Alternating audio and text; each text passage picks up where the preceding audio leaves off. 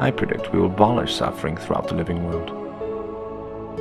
Our descendants will be animated by gradients of genetically pre-programmed well-being that are orders of magnitude richer than today's peak experiences. By David Pearce, The Hedonistic Imperative.